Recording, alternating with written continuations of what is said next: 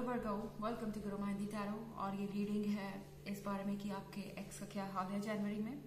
इस रीडिंग में मैं ये देखने की कोशिश करूँगी कि आपके एक्स क्या सोच रहे हैं उनके लाइफ में चल क्या रहा है। एंड uh, वो uh, जो कुछ भी हुआ क्या उसके बारे में आप भी सोचते हैं। तो अगर आप ये सब सवाल uh, आपको परेशान करते हैं तो आपके लिए ही ये रीडिंग है। चलिए स्टार्ट करते हैं और देखते हैं कि क्या मैसेजेस हैं। Messages for Virgos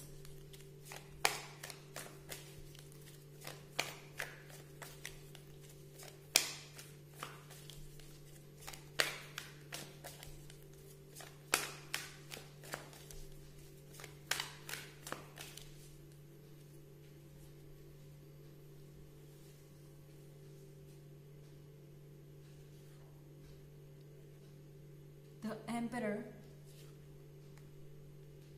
Five of Wands, Wheel of Fortune,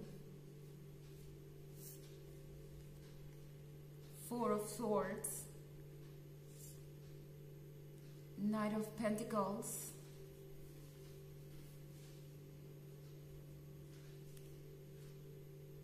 and Ace of Wands.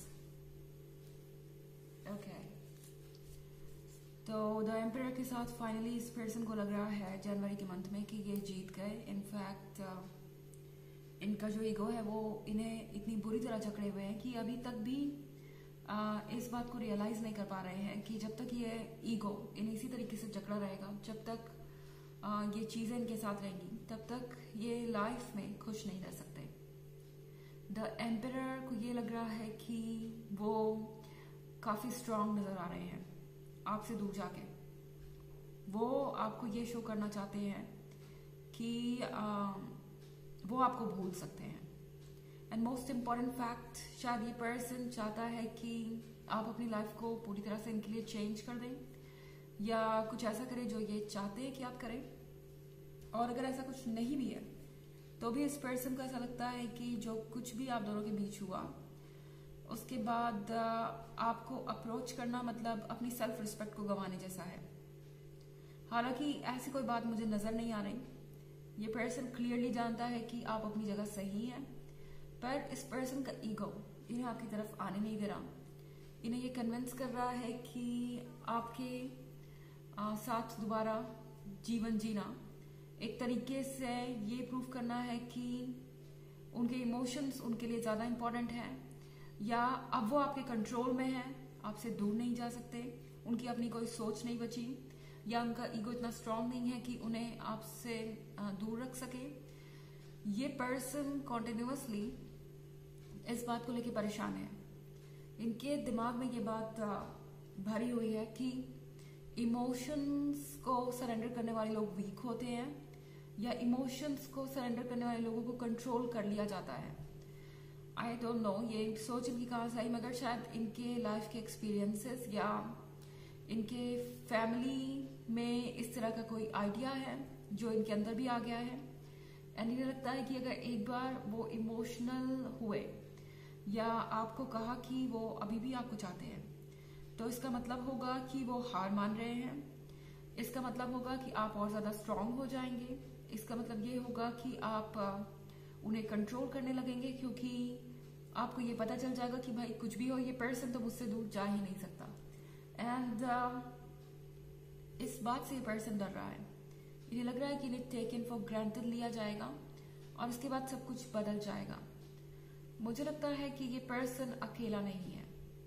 Okay okay? क्योंकि फाइव ऑफ़ वॉन्ट्स के साथ आई थिंक ये बहुत सारे चीज़ों से लड़ रहे हैं। ये आसपास के लोग भी हो सकते हैं जो इन्हें कॉन्टिन्यूसली ये कह रहे हैं कि ये रिलेशनशिप उनके लिए नहीं है। और उन्हें एक डिफरेंट अप्रोच अपनाना चाहिए।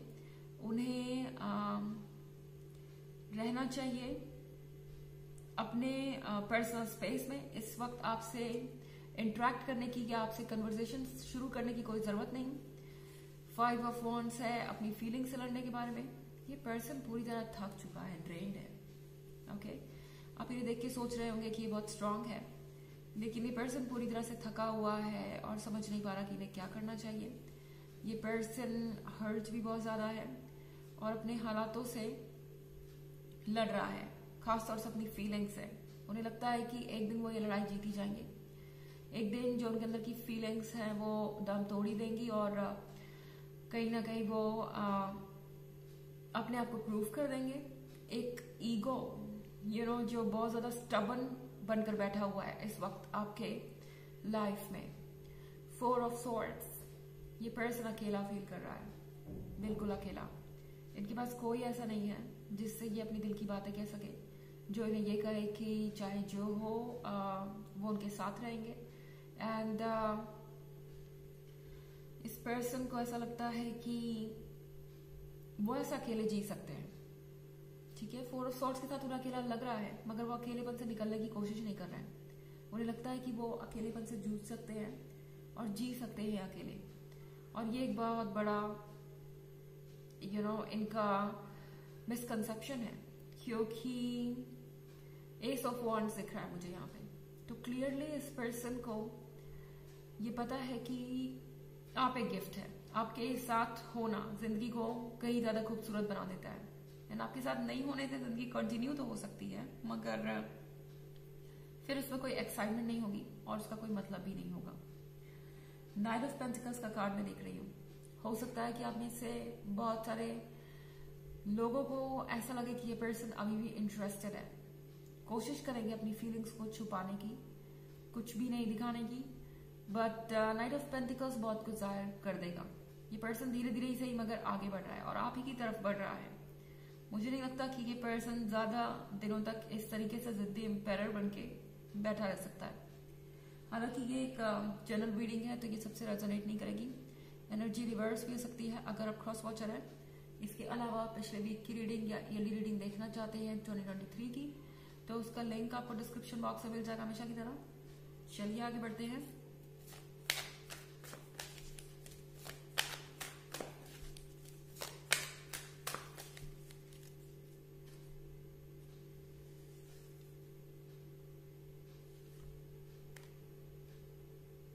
The Hierophant, the Devil, Seven of Pentacles, and princess of pentacles तो हमारे पास है द डेवल जैसा कि मैंने कहा कोई हो सकता है जो इनसे इस बारे में कुछ ज़्यादा ही बातें कर रहा है जो इस रिलेशनशिप को आ, तोड़ने पे तुल गया है। ओके okay, ये पर्सन कॉन्टिन्यूसली इस डेवल की बात सुन रहा है। जो इनके आइडियाज़ है इस पॉइंट पे वो इनके है ही नहीं। ये कहीं बाहर से आ रहे हैं। Okay okay? एंड इनके दिमाग में घर कर गए हैं।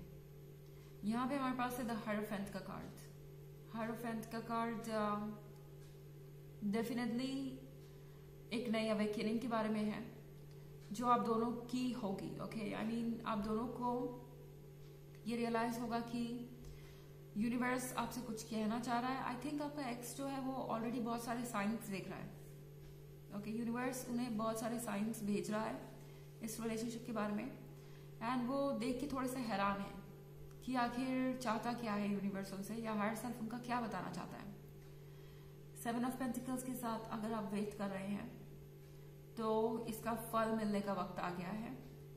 I I mean mean, uh, जैसा कि मैंने कहा आपको कहीं ना कहीं से ये आइडिया ज़रूर लग जाएगा कि ये पर्सन अभी भी आप में इंटरेस्टेड है ओके एंड ये ईगो चाहे जितना भी स्ट्रांग हो आज नहीं तो कल इससे आप दोनों के बीच में से जाना ही होगा।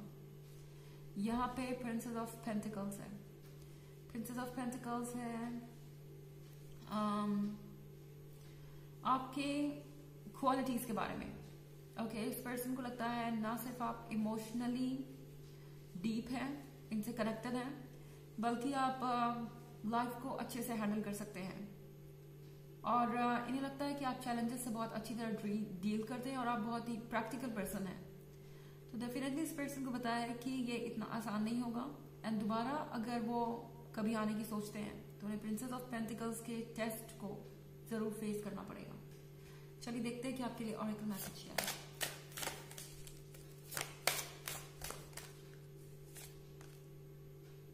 लाइट लाइट में आने का वक्त है ये। आपका भी और इस पर्सन का भी। आप अपने वर्थ को पहचानेंगे। कुछ समय बाद आपको ये समझ में आएगा कि जो भी हुआ वो कितना ज़रूरी था। इस पर्सन की भी लाइफ में आने का वक्त है ये। सबसे इंपॉर्टेंट बात यह है कि इन्हें ये रिकग्नाइज करना होगा ये रियलाइज़ करना होगा कि ईगो और लव दोनों साथ में नहीं चल सकते। एंड uh, यहाँ पे विजडम ज़रूरी है। Okay okay. तो ये है रीडिंग uh, इस मंथ की आपके एक्स के बारे में। आई होप आपको अच्छी लगेगी thanks for watching till next video bye